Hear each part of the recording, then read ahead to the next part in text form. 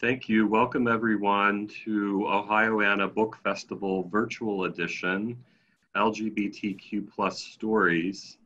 Uh, we'll give it just a couple of moments now for more people to join and for everyone's audio to connect.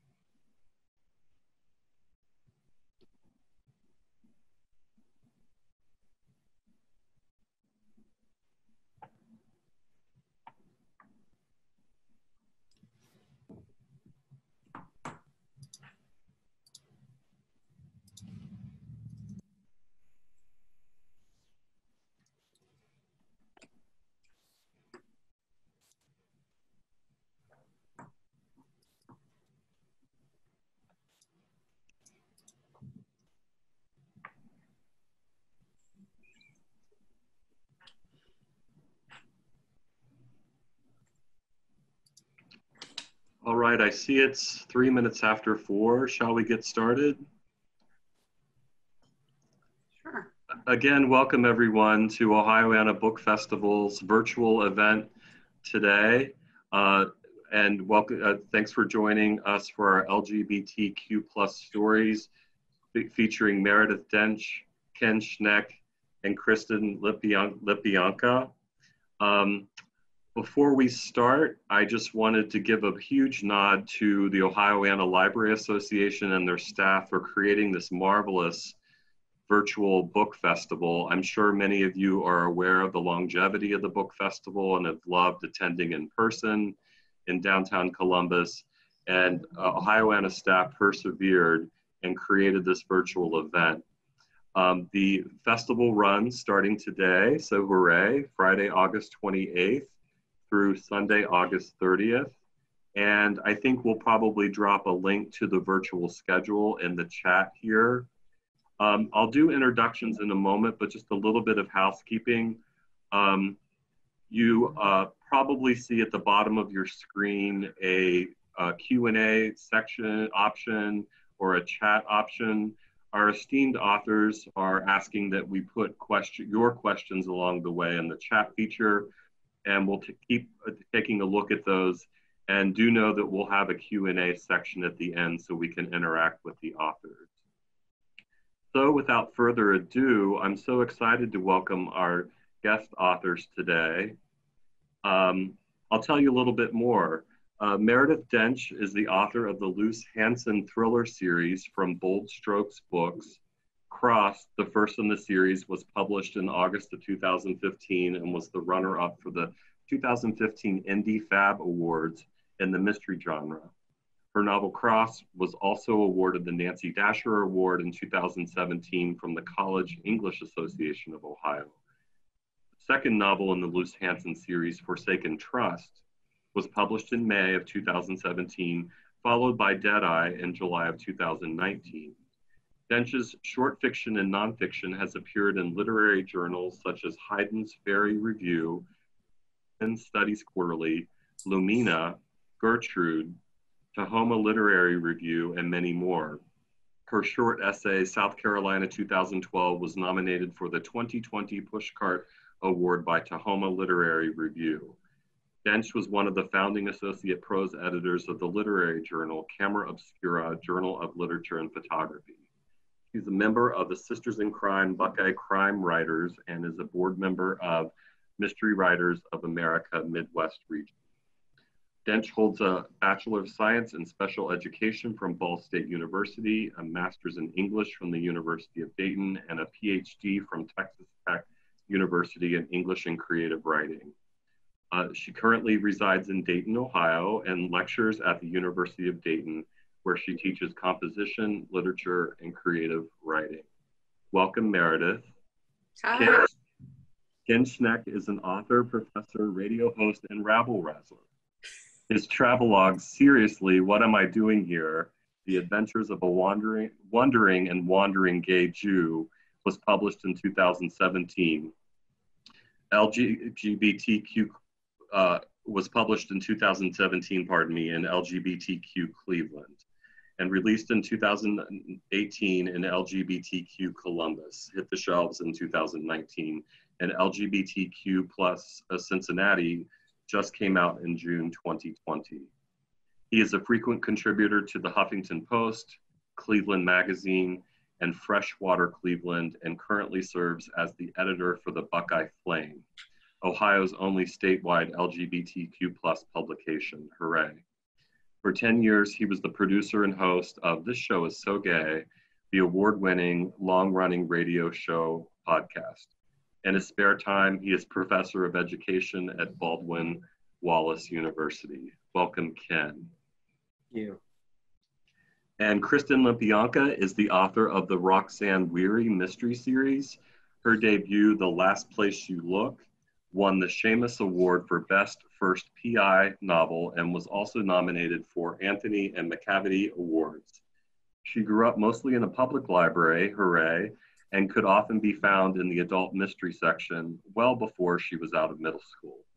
Her writing has been selected for Shotgun Honey, McSweeney's Internet Tendency, Grift, and Black Elephant.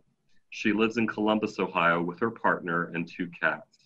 She is represented by Jill Mar- Marsal of Marsal Lyon Literary Agency. So, welcome, Kristen. Oh. Let's get started. I'm so excited about this. An Ohioana featuring this LGBTQ plus stories event is one of the kickoff events of the festival. Um, I thought it was worth kind of uh, describing or reading the description of this event um, that you've seen in the schedule because I think it sets the tone for the questions and the kind of dialogue we're going to have today. So for too long, the stories of the LGBTQIA plus community in Ohio have been untold, silenced, repressed. With the passing of Obergefell and versus Hodges in 2015, uh, and it's an Ohio thing, hooray once again, and the legalization and its legalization of same-sex marriage, doors have slowly begun to open. Join our authors who write fiction, do podcasts and videos, as you've heard, and speak publicly about their own LGBTQIA plus stories. And we will discuss how more of those stories can be told and more uh, voices amplified. So Ken's bio says it all, and you all do it. You're rabble rousers with your pens. Let's start with Kristen with your Roxane Weary mysteries, um, and then Meredith. Uh, you both write edgy thrillers. Um, tell us how liberating it's been to share your your LGBTQ plus voices with the world, and maybe talk about some of the frustrations. Sure. Um, I think that with the mystery and thriller genre in particular, uh, it hasn't always been kind to the LGBTQ plus community. So there have been a lot of um, not well written LGBTQ characters featured in mysteries and thrillers, books, TV, all of that. So being able to write a sort of well rounded, um, well drawn out, fully developed person who just happens to be queer has been really rewarding to you know be able to put a character like that out there into the um, the genre and also to just sort of get people's reactions to it the reactions to the Roxane Weary series have been really, really positive. And when I hear things from people like, you know, I've always wanted to read a book about a character who was like me, but I didn't know where to look or I didn't find one. Uh, it just means the world to hear that because like those are definitely the the people that I am writing for for sure.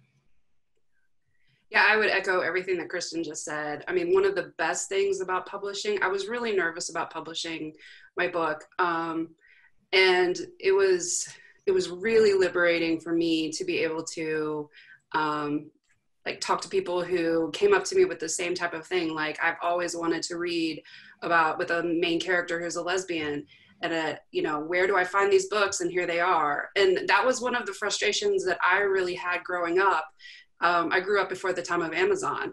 So it wasn't like I could just go to Amazon and type in for a search word, you know. And so for me, it was really, really important to put books out into the world where lesbians were the main character. Um, and, you know, so that people could find those. And so when people come to me and say that they've been hungry for reading these books and now they're here, it's the best compliment in the whole world, really. Sorry, I can't hear you. I did it again. Oops. Oh, sorry. Not to unmute. Um, I said that's great to hear. Thanks for sharing that. And Ken, you're uh, doing some more uh, podcasts and kind of um, nonfiction kind of work. Uh, tell us how liberating it's, it's been for you to share your LGBTQ plus voices and some of the frustrations you might experience along the way. Yeah, sure. I mean, my, my first book is is is about is a travelogue of my wacky adventures in the world. So I would like to say that all three of us write edgy thrillers. Uh, really the case. Uh, yeah, in, in, putting together the LGBTQ Cleveland, Columbus, and Cincinnati books, and just covering the past 60, 70 years of LGBTQ life uh, in, in our big C cities in Ohio, it's been incredibly liberating for me. Uh, it's, it's history that, as someone who's not from Ohio, I've lived here for seven years, it's been incredible to speak with the people who lived through struggles and triumphs um, and, and all these cities are so different from each other and have such different LGBTQ histories and struggled with with really different sources of drama. Um, so for me, it's been nothing but liberating and really validating. Um, and it's been amazing to just get the feedback from even people who've lived in these cities uh, their whole lives, uh, who just didn't know the struggles that were going on behind the scenes, both in the LGBTQ community, within the LGBTQ community, and then in the world at large. So, um, no struggles on my end. It, it's been nothing but an honor to put these stories out there. That's really great to hear. And what I'm hearing is the hunger is growing from your readers um, across the state or your listeners in the case of podcasts. People are, are wanting to see themselves in your work. And it's hopefully a more comfortable, open space for all of us. Mm-hmm. So, on that note, Meredith and Kristen, how, why, and when do you decide or feel you uh, want to infuse queerness into your fictional characters? Uh, Meredith? Well, I would say that my um, my main characters sort of come to me, um, and they come to me the way that they are, and so these characters generally show themselves to me as being queer. Um, I don't know if it's because of who I am, and that's why these characters tend to come to me. But I don't feel like I force them to be anything that they aren't. Um, so I try really hard to just let them be who they are on the page and then show them, you know, as as Kristen was talking about, like these three dimensional, trying to show them as real people with real problems and all those kinds of things. Um, so because of who they are, I think that queer issues tend to come up with my characters a lot. And um, my particular character, Luce Hanson, um, she identifies as lesbian and she is she specializes in um, tracking serial killers and so um, most of the crimes that she's looking at aren't necessarily related to anything that has to do with queer life i mean the first book did a little bit but it tends to bring up other issues in her own life that sort of mirror that with um, queer issues and things like that so i think it's more just who they are and that's where these issues arise I would really agree with that. I kind of just follow around my characters and see what they do. It's not so much that I decide what they're going to do. Like they're they're in charge for sure. Um, and I think that that's really kind of like why I write what I write is that you know I want to write queer characters who are living their lives. And these are not specifically stories that are about the queer experience in terms of the plot of any of the books in my series, but the entire book is about the queer experience because it's through the point of view of someone who perceives the world that way. So uh, it's definitely just like what feels right and natural as I'm writing. Like they just sort of dictate to me what they want to do and who they want to go home with and, you know, all that good stuff. So. Thank you. And Ken, since much of your work is maybe, is it fair to say, current events based and nonfiction, how do you decide on what LGBTQ plus topics and fabulous, impactful queer people to feature and when? Yeah, I mean, I, am first and foremost a, a, professor of racial justice, so I'm always going to be looking uh, at intersectionality and people being able to bring their whole authenticity, uh, whether it's whether it's through the Buckeye Flame, whether it's through uh, the LGBTQ uh, city books, or even even my own travelogue of just bringing all parts of myself forward neurotic and otherwise i was going to say and otherwise it's all it's all neurotic. Uh, but I, I, think it's really important that that we be able to feature people um, and, and amplify the voices that, that don't just exist in sexual orientation, but um, that we're differentiating that it is a different experience here in Ohio uh, to particularly right now to be a black trans woman and what that means as opposed to my being uh, a, gay white Jew from New York City relocating to Cleveland. Like those are two categorically different experiences. Um, and, and we're just seeing habitually that, that still we have to remind people that there are more gay people in Ohio than white gay men in Columbus who are lovely people, I'm sure. Uh, but there are others. There, there are other voices that, that need to be amplified. We need to make sure that those are at the table as well. Um, and that we're really fighting, fighting for those voices to be amplified. Yeah. Absolutely. Um, as a queer man, I hear what you're saying, and it's so great. And I, I like to talk about how we're not just looking at a spectrum of all voices, but an absolute circle because we want to hear from everyone. And, you know, we flip on the television now, and just Netflix itself is exploding with lots of uh, reflections of our, our beautiful communities all together. And I can't help but say, like, let's celebrate our neuroses. For too long, at least in my life, I felt stigmatized or repressed. And hooray, none of us are perfect people, and let's celebrate who we are, right? Right. Well, but we're seeing that even in the coverage right now. We, we actually just put out a story yesterday about uh, Crain's here in Cleveland. The business magazine just did their inaugural list of LGBTQ notable executives, which is wonderful to get LGBTQ voices in a business magazine. And then they put out the list of 21 different faces, and the list is 95% white and 0% transgender. Um, and so we really want to push back. And, you know, I would be remiss if I didn't take my own advice of pushing back on the panels that we're on to make sure that they are representative as possible uh, and, and that they're not all just white cisgender faces. And so we all have uh, parts to play in that within the community as well. Yeah, thank you for sharing that. And I think that segues into the next question, which is kind of rooted in systems or tradition. How have the publishing world and social media environments been supportive of all of your work? Um, Kristen?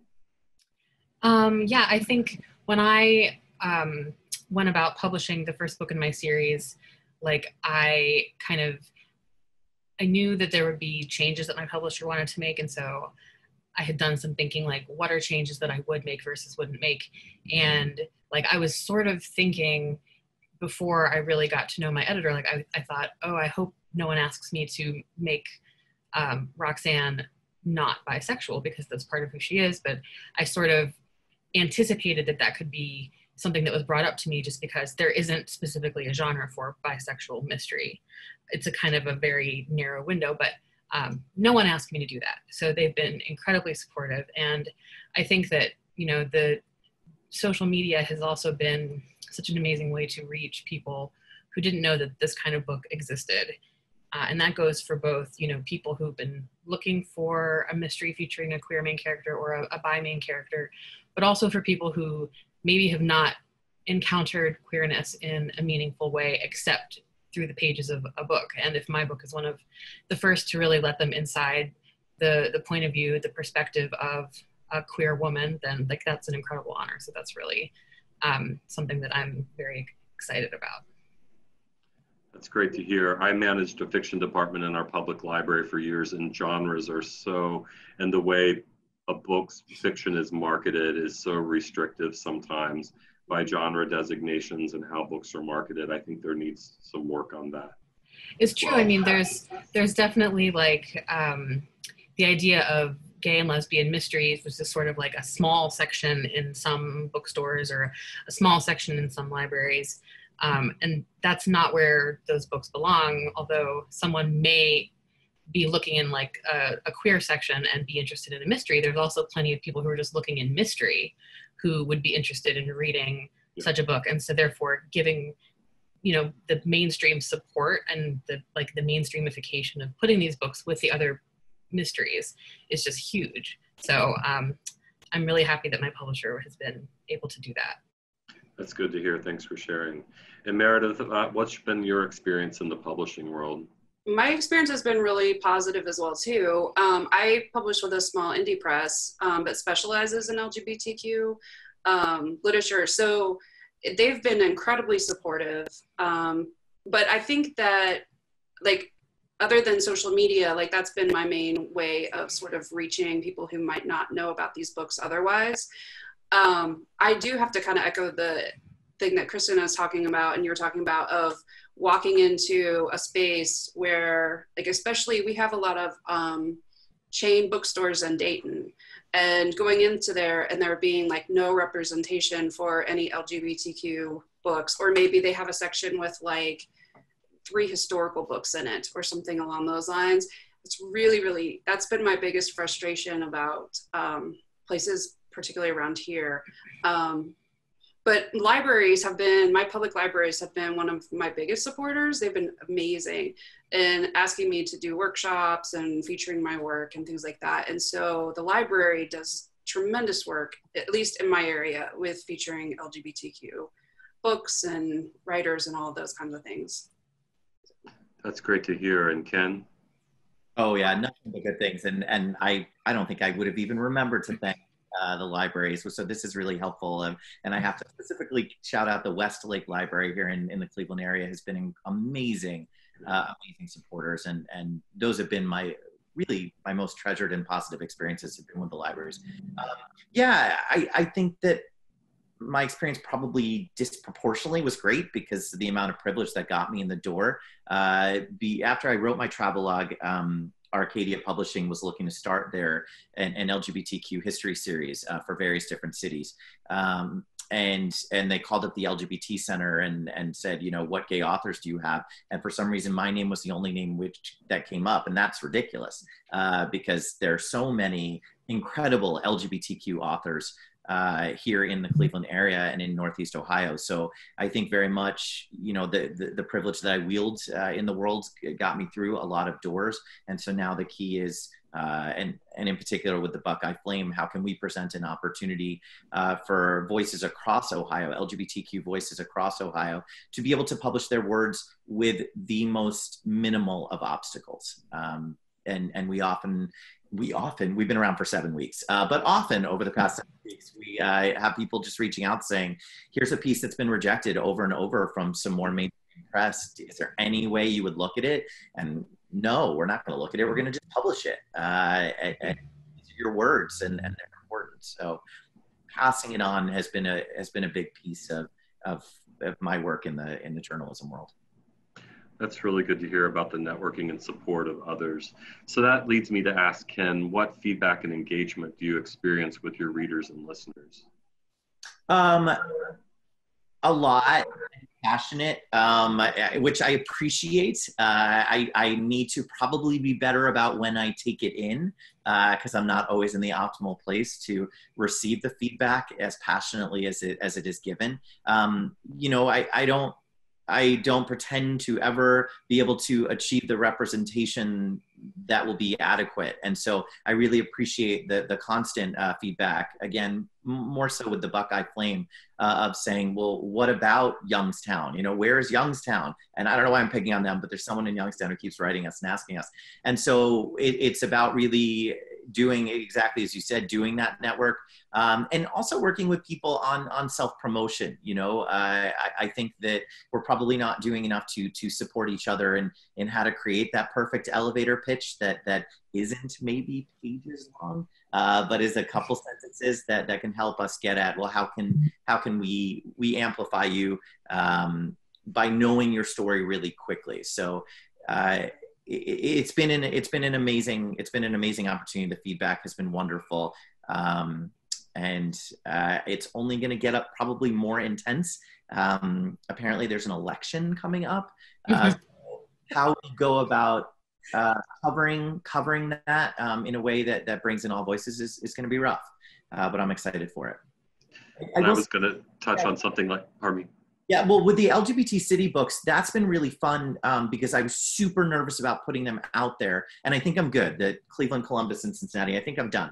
Uh, I was really nervous because of it's not my history, and so hearing back from the elders uh, that that we largely got it right. Um, there were little tweaks along the way has been incredibly validating because uh, this history was disappearing um, as our elders age out. Uh, so that that has been it was me really holding my breath, and in particular there in Cincinnati, where it is uh, the most passionate LGBTQ people I've encountered in the state. Uh, and so hearing back from them that they, they, felt that their extraordinary history with with um, issue three and article 12 and everything that went down in cincinnati over the years that really affected the lgbtq community in I, I, can't even wrap my mind around it. And I know the rest of us around Ohio just don't even know, really can appreciate what happened there. So hearing from them that we that we got the history right was I'm good. I'm done with those city books now. I'm retiring on that one. That's fascinating. Yeah, Cincinnati's been quite a laboratory over the past decades. Yeah. Yeah, and I was going to say a silver lining of COVID is there's no ignoring. We must amplify all voices now, and I think that's rising to the top of the importance to listen to others and amplify voices. Yeah. Meredith, what what are you how how are you receiving feedback and engagement with your uh, readers? Um, I've been getting really great feedback, which has been really helpful, and um, a lot of most of them have contacted me through social media or through email, things like that. But yeah, I've I've had a I've had my share of really positive things too. I cannot, I, I've been very, very lucky and I appreciate that for sure. Yeah. I think that one of the things that's most interesting to me being an Ohio writer, and I've lived here the majority of my life, except for when I was in grad school, I left and then came back.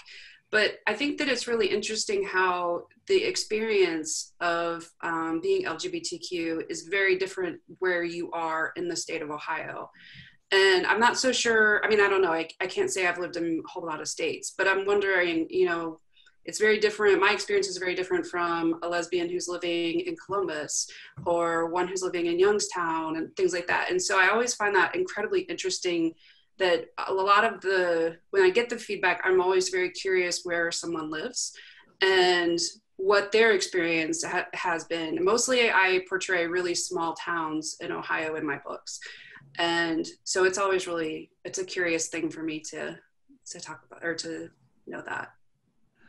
That's fascinating. Thanks for sharing that. Yeah. And kristen? Um, yeah i would say that i too get most of my you know feedback from readers through social media or people writing to me on my author website which i always uh, really enjoy hearing from from folks that way uh, especially if they're they have a comment of like you know, I've loved mysteries my whole life, but I haven't read a book quite like this before because, you know, I've read a lot of mysteries with straight protagonists. Um, so that's really amazing. I think that sort of to echo what Meredith was saying, like there is no one queer experience, of course. So what we what we do is we sort of just write our our take on it or our characters' take on it. Um, and I think that sort of going into it, that was something that I was a little bit worried about just because like you know what's true for me is not necessarily true for another person in ohio. Oh boy here's the cat. I think it's cat time. It's cat time. Okay. Uh, so she's been like threatening to jump for like the last 15 minutes so it happened. But um, but yeah. So you know, when we when we write, it's not like we're saying this is the way it is for queer people everywhere or queer women. Even you know, queer women in Ohio, queer women in Columbus have a different experience, and queer readers know that for sure. Um, I think straight readers maybe not necessarily, but like what we're doing is adding our voices to this genre to the world of books and to sort of like help people understand that there are so many different experiences and points of view that people can have. Yes, let's expand the circle of safe and supported and celebration far and wide. Right? So, Meredith, how do you intend to propel queerness in your writing ahead and perhaps even in your writing and community engagement?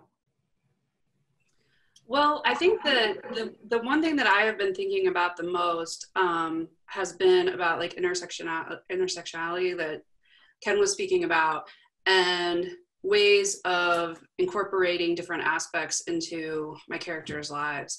And so, I mean, right now, or what I've been working on a lot lately has been disability, characters with disability who are also queer.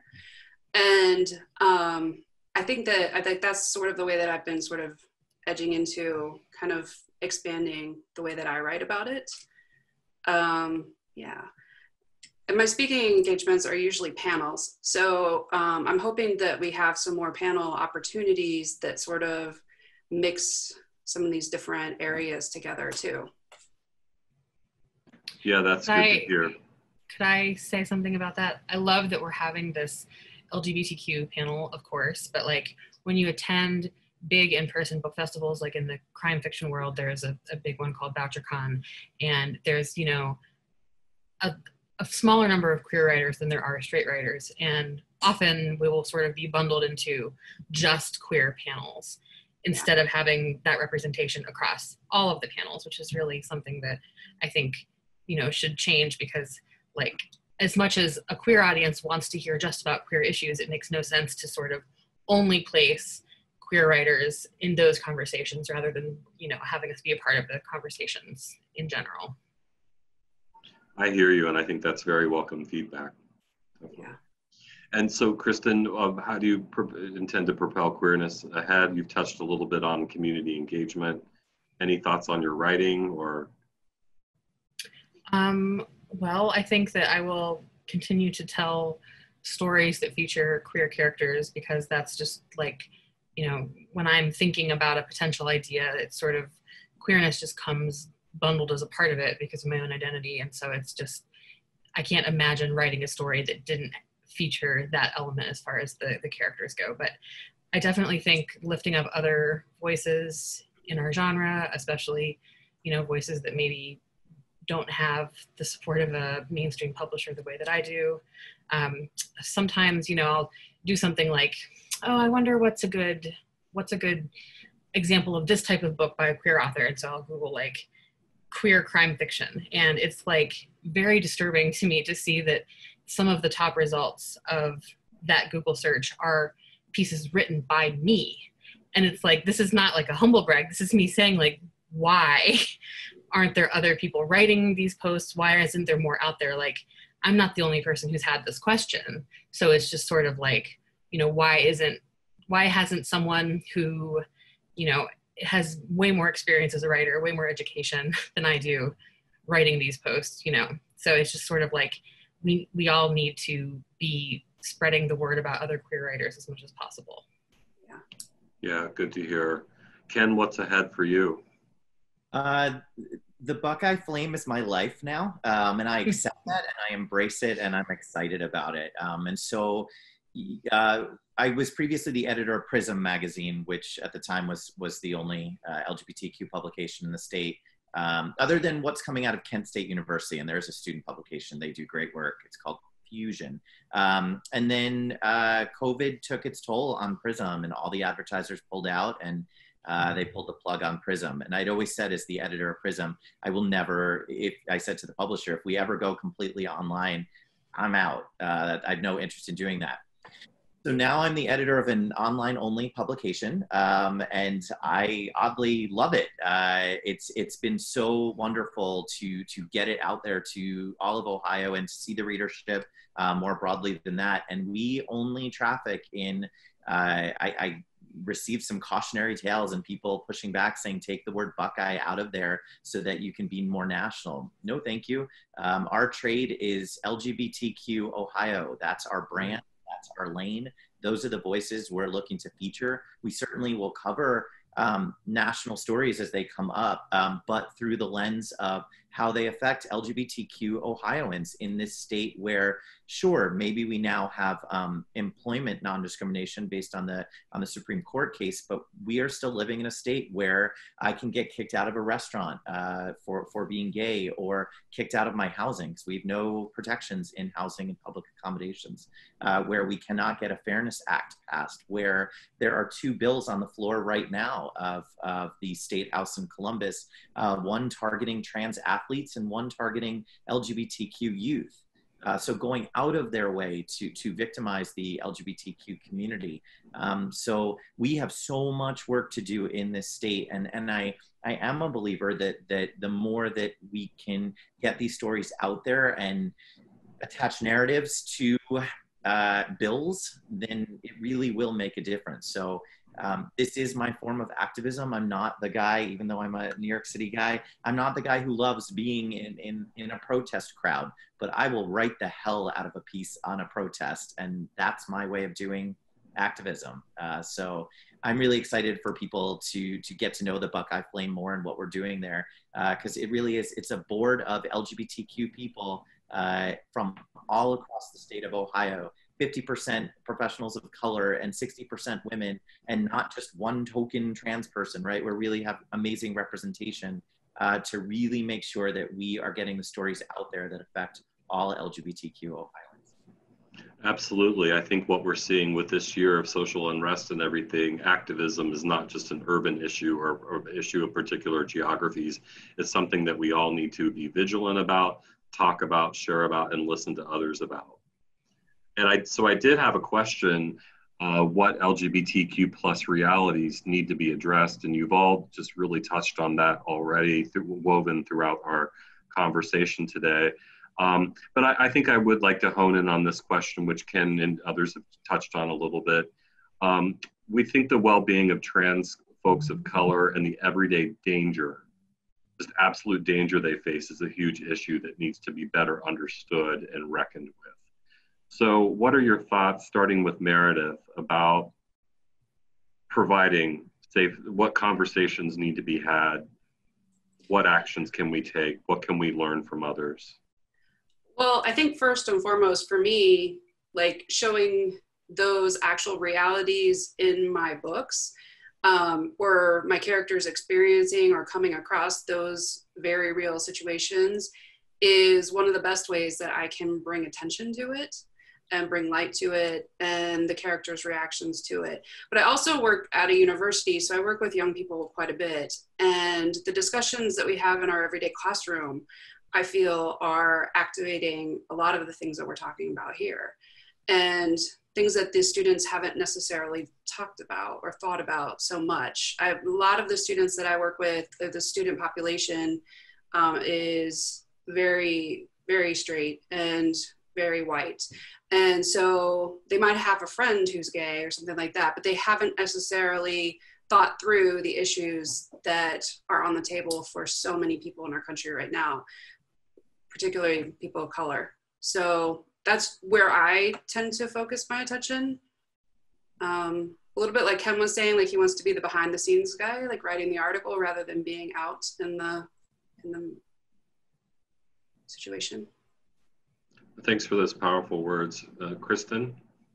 Um, yeah, I would say that expanding like opportunity and access for other writers, first of all, to like queer, um, trans writers of color, probably need more support than a, a queer. Oh my gosh, this is ridiculous. This cat. Whoa. Okay. Um, so, you know, making available some of the opportunities that I have I've been given mentorship and so on is important, but like Meredith was saying about writing um, the realities of these types of dangers that that face characters. Um, it's really important to do that in a way that is not sensational because for so long, you know, mystery and thriller books and television have relied hugely on sort of this idea of the the trans character who you know um, like for example i was watching rewatching the show er recently from you know 20 years ago and there were multiple storylines of a trans woman who winds up getting ovarian cancer.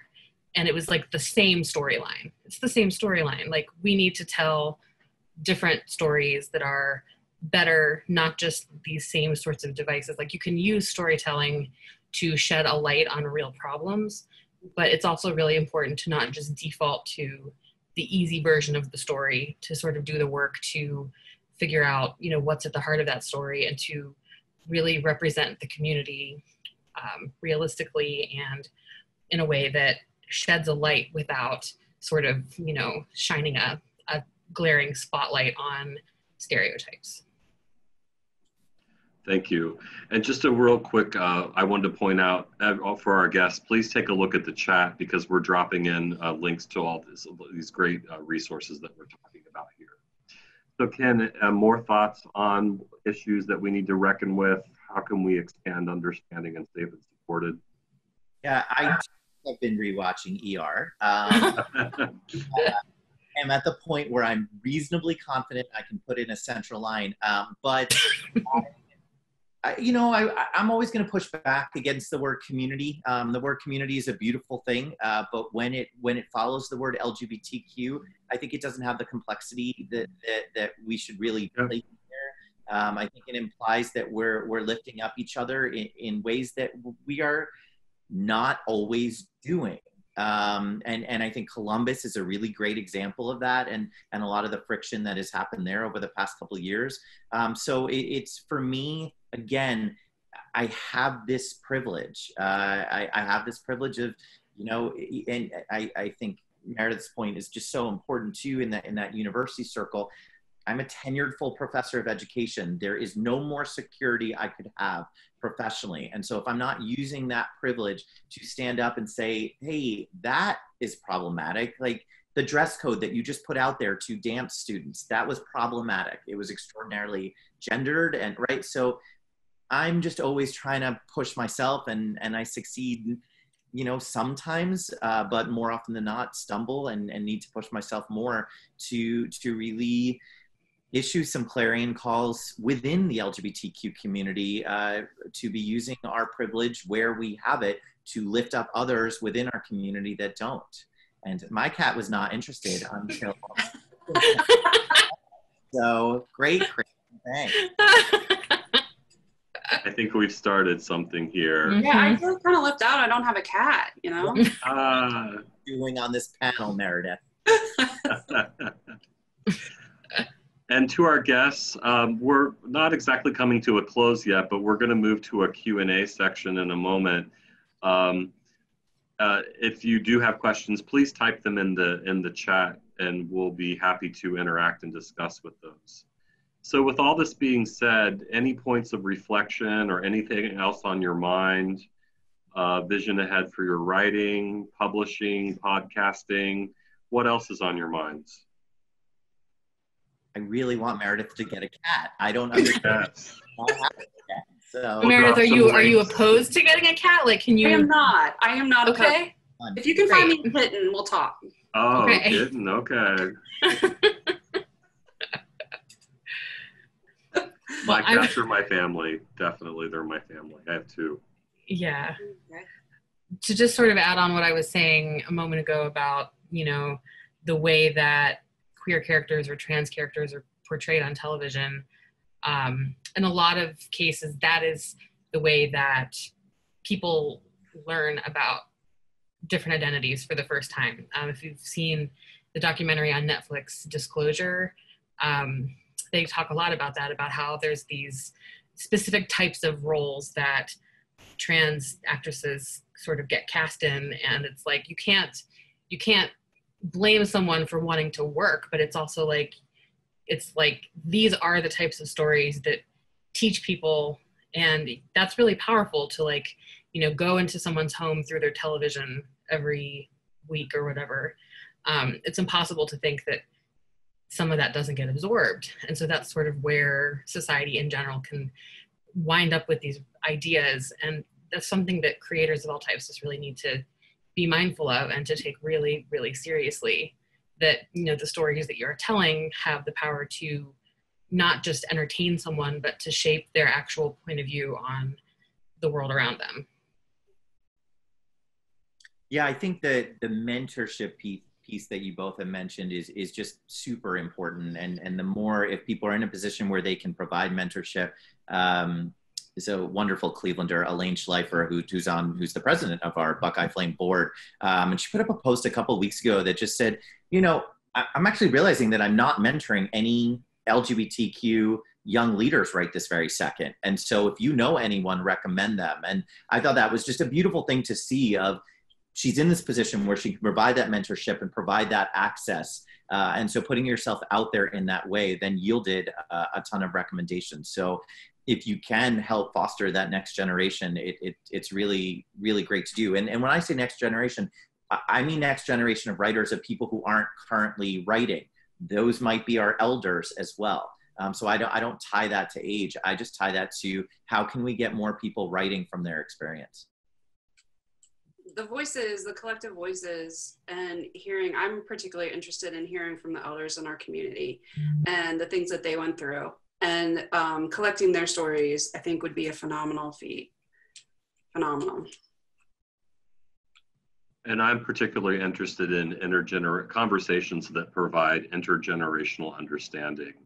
I'm my personal experience, I'm kind of in the middle, and I've had uh, queer folks older than me that tell their stories that obviously are so different than younger people. And I, I hate ageism, so I'm just going to throw that out there. But I think probably hear what I'm saying about experiences of younger people in social media. It's just entirely different. And I think there's space for us to learn from what we experienced in different decades along the way.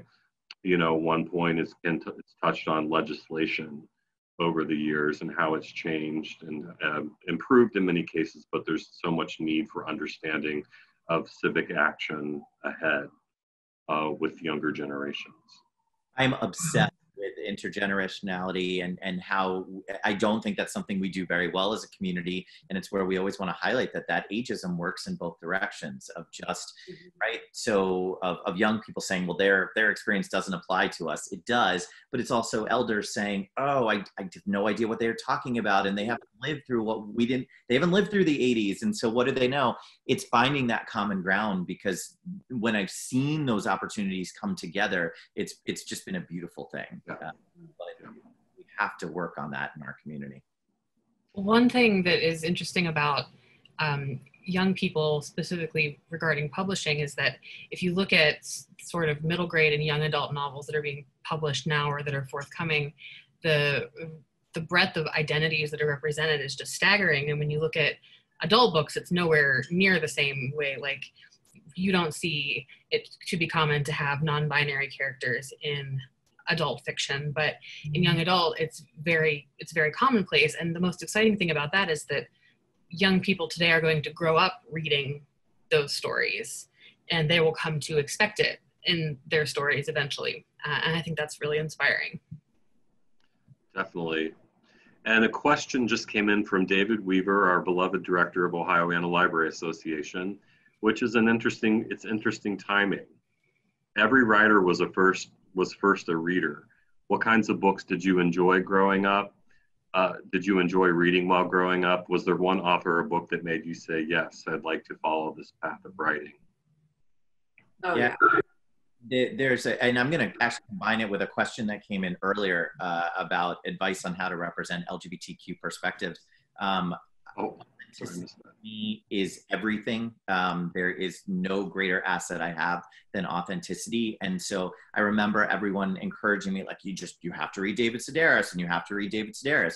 And I read David Sedaris and I didn't, I didn't take to it. I, I, it's not demeaning of David Sedaris. It just it didn't resonate. His words didn't resonate with me. And then I stumbled across David Rakoff, uh, and David Rakoff's work.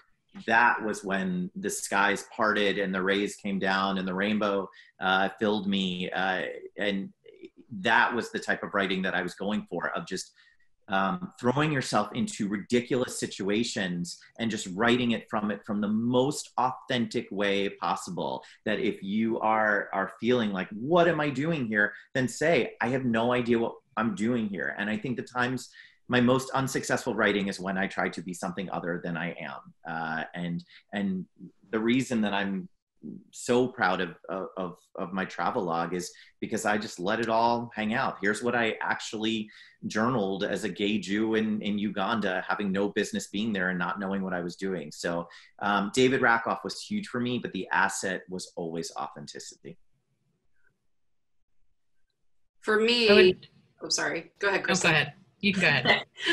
um, I was not a really big, I didn't really enjoy reading when I was a young child.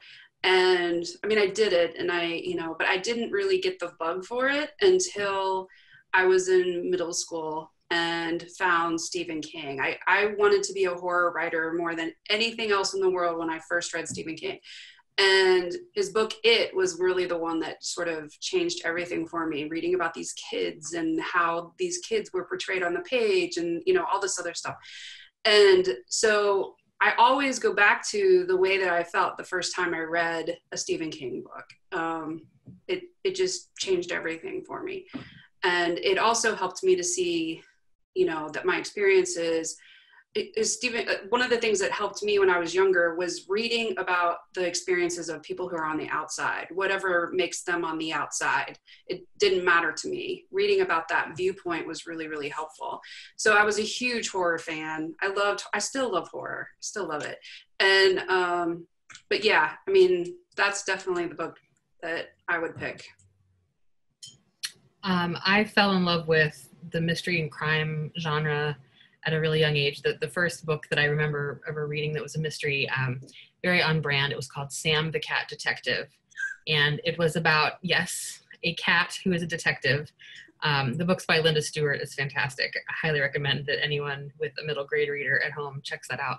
But um, the, you know the thing, the thing about mysteries that I think is so compelling as a reader and ultimately as a writer is the idea of like the you're solving a puzzle so you have to put clues in. So it's really just like it's like not i'm not saying that it's the trickiest type of book to write but it just has this extra element of like you can read it but you can also depending on your level of attention and interest you can really sort of dig down into every little tiny clue that's being put in there. Um, and also just in situations of um, stress and intensity and violence that's when people's true colors come out. And so I think that these these types of, of books that are about very intense situations between people or you know between communities is just some really very interesting storytelling. So that's just kind of what i've always gravitated towards. Thank you. And i'm sorry i missed that question um, and ken touched on it uh, nicely. So kristen and meredith as we come to a close do you have any more thoughts on the question that came in a bit earlier on advice how to represent LGBTQ plus perspectives for someone who's still new, exploring their own territory or their own story and perspective? So I would say, um, sort of like I mentioned earlier, there is no one universal queer experience. So every experience as an LGBTQ person deserves to be represented. And you know your experience or even as you're trying to figure out what exactly your experience is going to be like it's 100% valid and it is you know the the greatest gift we can do for our community to be authentic as ken was saying and just really tell your story the most authentic way possible. And uh, even though there is no one universal queer experience there will be elements that resonate with readers um, and that's just really really important yeah and for me when i um, started writing fiction and starting to have characters on the page that were LGBTQ. One of the things that helped me the most was figuring out my own story first. Um, and so I don't know if you have any interest in write in trying to work with some creative nonfiction first, and maybe trying to pinpoint what your story is because you say that you're, you're recently coming out. So maybe coming like working with your story first before it doesn't have to happen that way. I'm not saying that's the, but for me, that helped me a lot figuring out my own story first. All right. I think we're coming to the top of the hour, and what a rewarding and memorable conversation. Thank you all for your thoughts on so many topics that, are, that will resonate in my mind, and I, I do believe resonate with our guests today. So thank you, Kristen, Meredith, and Ken on behalf of the Ohio Library Association. And yay, hooray, what a day, great day to kick off the Ohioana uh, Book Festival virtual edition. So everyone, please be sure to check out the schedule. Uh, the other exciting thing is this and many, if not most events are recorded and will be archived. So please share with family, friends, and your fellow, uh, fellow um, communities um, so that, that, we can watch this and, and reflect on all the great things that we're talking about. And someone just added, thank you for the inspiring session and thank you for joining us. And the schedule again was plopped into the chat so you'll have easy access to all the other great events coming up. Um, one more mention from Ohioana, remember to buy the books, all of our books from our authors today uh, from www.bookloft.com. So thank you all. Uh, really appreciate your being here today and have a great evening and weekend. Thank you. Thank you. Thank you.